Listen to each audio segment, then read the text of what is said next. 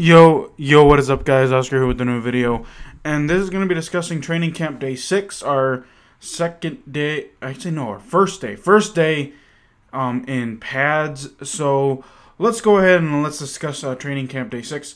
Um, so before um, you know, I discuss you know individual performances and you know who's you know who's doing what. Let's do um what I always do. Uh, discuss some injury new- news and notes here.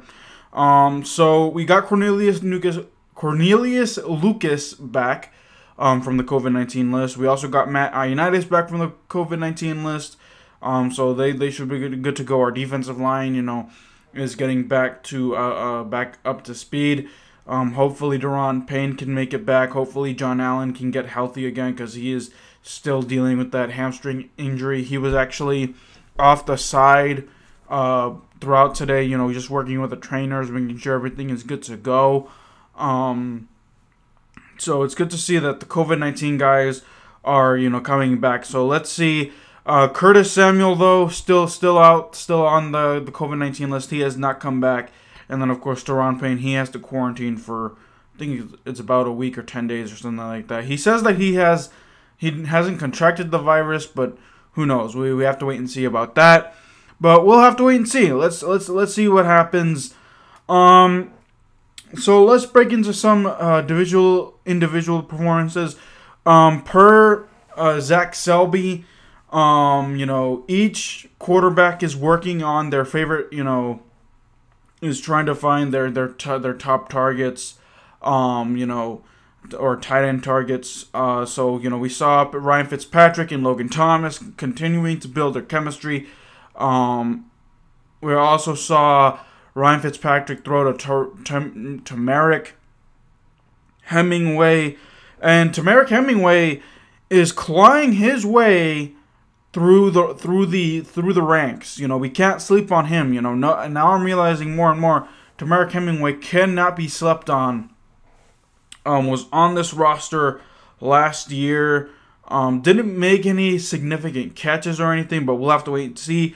Um, some other news, ab- some other notes rather um, about you know what Zach Selby posted was that you know Troy Apke, he's uh, becoming yet again another um, camp body who's you know becoming a, a, top guy. He right now last year it was at free safety. This year is at corner. Now can he flourish under that? We're gonna have to wait and see. Just because last year he was a great corn, uh, a great free safety in training camp, but when it translated to games, he was just really bad. You know he kept on getting burnt. You know couldn't make a tackle, couldn't do anything. So um, hopefully, you know, at corner. Right now, he's looking at training camp, you know, and he's had a few batted passes here um, per Zach Selby. So let's see if he can translate that to preseason game one. Preseason game one um, is next week. It is next Thursday. So expect a video um, either late Thursday night or maybe Friday morning discussing um, preseason game one. But we'll have to wait and see about that. Um, I'll let you guys know when when when that happens. We'll just hold up on that. Don't want to get my mm, you know don't want to get ahead of myself here. Um, some other notes. Um, in so today was the first, like I said, padded practice. Um, Samuel Cosmi is getting more comfortable. In fact, he actually played really well um, in with pads. Funny enough, you know he stopped Chase Young and Montez Sweat on, on certain plays, so that's really good to see that he's continuing to grow. Um, Antonio Gibson and Lamar Miller had a few big carries today. In fact, um, Lamar, I think it was Lamar Miller or, or was it Antonio Gibson? No, I think it was Jaret Patterson. Um, the running backs are making an impact, and they are actually making the defensive line frustrated because um, I think I, I want to say Jaret Patterson. Please correct me if I'm wrong in the comments, but I want to say it was Jaret Patterson, where he ran up the field and went through a hole, you know, and got into the end zone for a touchdown. And Chase Young, you know, said we got to plug up those holes. I'm not gonna say you know what he said because you know he, you know I don't I don't curse in my channel at all. I'm trying to you know be at least PG to PG thirteen at, at at best or at worst. Um, but you know, um, Chase Young was shouting, "Got to plug up those holes." So, um, you know, Jaret Patter, the running backs, you know, they're they're making the name for themselves. Lamar Miller, Antonio Gibson, Jaret Patterson, um, Peyton Barber, um, carried. Oh, there goes my um my phone my phone's going off. Please ignore that. Um, Peyton Barber took uh I want to say Khaleke Hudson. It was one of those big guys um on a ride or something like that. So you know these running backs are going to be testy. Um, we should be a, me personally. I think that Washington should be a run first team. You know, we, we do have Ryan Fitzpatrick, we do have Taylor Heinicke, but our identity is running that football, pounding it, and that defense, that front seven, slamming the opponent's quarterbacks down. So, um, you know, that's that's what I think we should do. You know, only gunsling it when needed. We do have a gunslinger.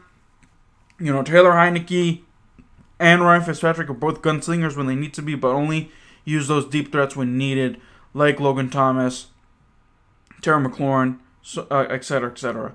Um, Dyami Brown had uh, some spectacular catches as well um, from Taylor Heinicke. Uh, I think he caught a touchdown. Let's talk about some uh, two minute drills. Each of the quarterbacks, excluding Kyle Allen, of course, because he's still working on that ankle. Got you know he tweaked that ankle I want to say last week, so he's still, you know, trying to work some kinks out. But all the quarterbacks that were active today actually got some time in the two minute drill. Um, uh, Kamren Curl intercepted Ryan Fitzpatrick once. Um, and then also uh, Logan Thomas got a red zone touchdown. Antonio Gibson had a rushing touchdown in the two minute drill as well. Some notes though that you know some some something you know some feedback for Antonio Gibson. I can't remember if it was the running backs coach or if it was Ron Rivera or no no no Scott it was Scott Turner um, saying that because uh, Antonio Gibson had two straight runs, didn't make it into the end zone, um, and time was running out, but then you know, they were saying, "Yo, man, you got to find a way to get out of bounds." You know, he had some some catches, but didn't go out of bounds. And they said, you, you know, if you're trying to make catches, that's fine, but in a two minute drill, you got to find a way to get out of bounds. So that's something for Antonio Gibson to to work on there. Um, let me see what other notes. Um, let me see. Oh, um, Wes Schweitzer, not Wes Schweitzer, uh, Wes Martin and um, Saahdiq Charles also, from what I heard from, uh, I want to say Zach Selby, um, got you know showed the best of the offensive line today. You know, Samuel Cosmi still growing.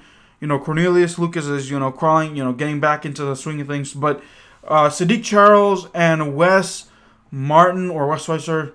That's the that's the problem having both uh, two guys with the same name. Wes Wes Schweitzer and Wes Martin. I can't remember which one of the two, but e- either way, um, one of the Wesses, along with Saahdiq Charles, um, you know, had a you know had a good day in training camp as well.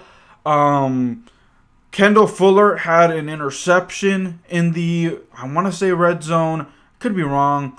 Um, but you know, I also know that Kendall Fuller is, is finally you know getting into rhythm. So let's see what happens. Let's see what happens with that cornerback battle. Um, what other notes do I have? Um, Tim Tim Settle was a start. You know, got the start in the 11 versus 11.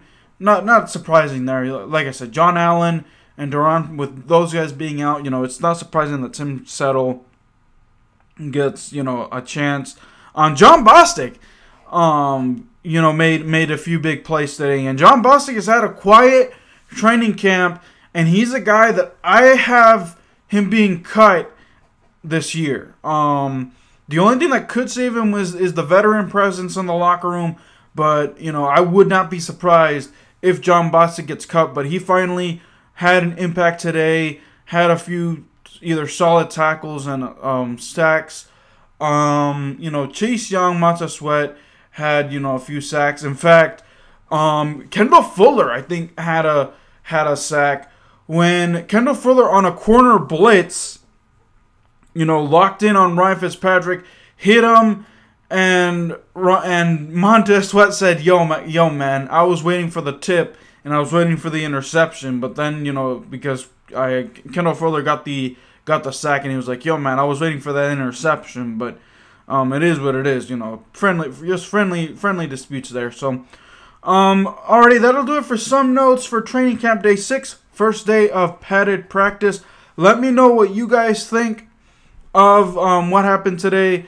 Let me know in the comments down below. It's your turn to let me to to write down there in the comments. Um, maybe I missed certain things that Ryan, uh, Rhiannon Walker and or Zach Selby posted on the Washington football team uh, website or what uh, Rhiannon Walker tweeted. So it is y'all's turn. Let me know in the comments. Until then, guys, I'll see you guys next time. Peace.